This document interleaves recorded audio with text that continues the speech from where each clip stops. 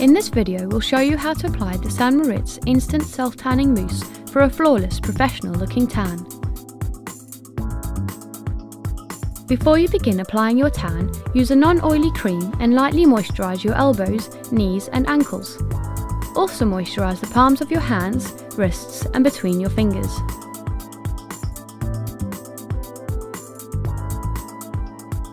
With an application mitt, work across your body in sections, using about two pumps of the mousse.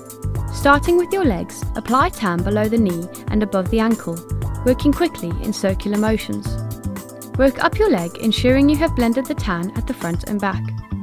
When applying to the top of your thighs and bum, lean forward slightly to avoid the bum line. Once you have finished each leg, use what's left on your mitt to tan your feet and ankles.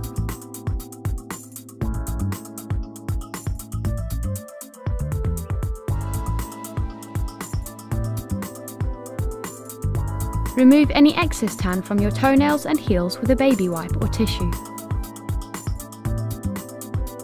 Then begin working up the body starting with your stomach, then chest. Again, working quickly and in a circular motion, not forgetting your sides.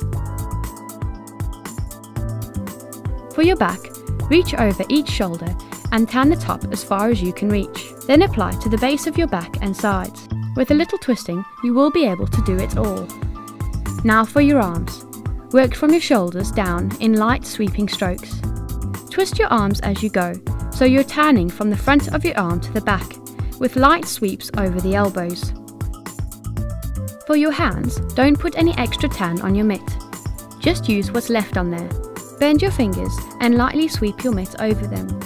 Again, remove any excess from nails and fingers using a baby wipe or tissue. Before applying to your face, lightly moisturise your skin. Apply a small amount of tan at a time, working in sections. Use what's left on the mitt to sweep over your ears, blend in your hairline and blend into your neck. Take time to blend the tan really well on your face and neck. Give yourself 5 minutes to dry, put on some loose clothes and relax. After 4 to 6 hours or overnight, you can wash off the guide colour and enjoy your glowing St. Moriz tan. In order to keep your tan for longer, ensure you moisturise daily and lightly exfoliate on the third or fourth day.